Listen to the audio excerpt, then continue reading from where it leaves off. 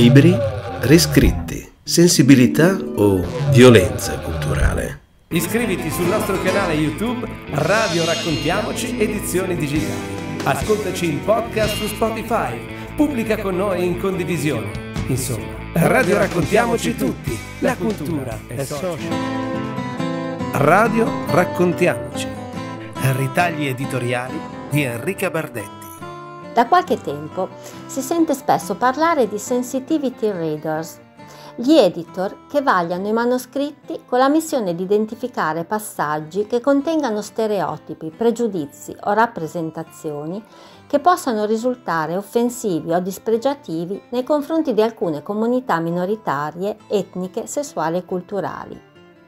Tra le vittime dei cosiddetti lettori sensibili, per dirla in italiano, è finita anche la scrittrice inglese Enid Blyton, uno degli autori per l'infanzia più amati e venduti.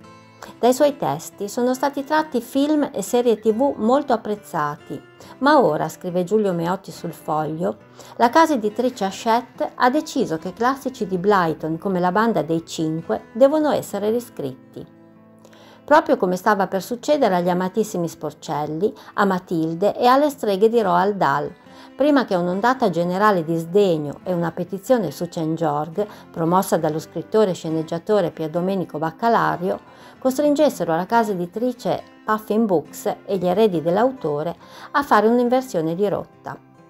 Ma l'ondata di sdegno che ha salvato i personaggi di Dahl non è servita a scoraggiare i lettori sensibili, dal momento che qualche settimana dopo lo scrittore Robert Lorenstein, autore di libri horror dai bambini venduti in milioni di copie, Dopo averlo scoperto leggendo il Times di Londra, ha accusato il suo editore di aver apportato modifiche a sua insaputa a una dozzina dei suoi ormai classici piccoli brividi, censurati per evitare riferimenti di razza o termini come grasso e pazzo. Lo stesso trattamento sarà dunque riservato ai testi di Enid Blyton da parte della casa editrice Hachette, che si è dimostrata irremovibile nella sua decisione, dopo che due anni fa i libri della scrittrice erano stati condannati come razzisti e xenofobi da una fondazione culturale. Dai testi della Blyton scompariranno quindi parole chiave come marrone con riferimento a volti abbronzati, gay e anche queer, che nelle edizioni del 1942 era l'aggettivo preferito dei suoi commorani delle onde, mai ovviamente inteso come riferimento alla moderna sessualità, ma piuttosto come sinonimo di strano.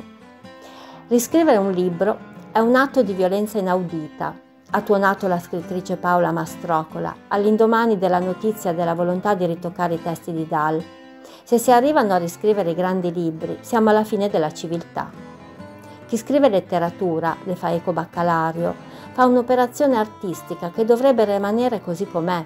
Si possono mettere apparati, note critiche, prefazioni per spiegare, ad esempio nel caso di Dahl che scriveva nel 1930 e che probabilmente se lo facesse oggi non scriverebbe più così.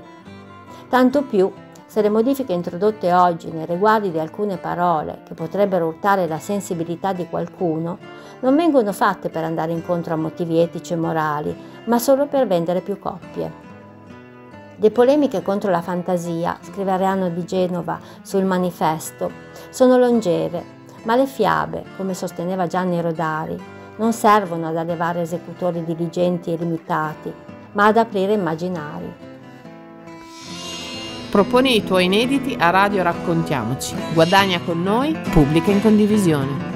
Radio Raccontiamoci tutti. La cultura è social.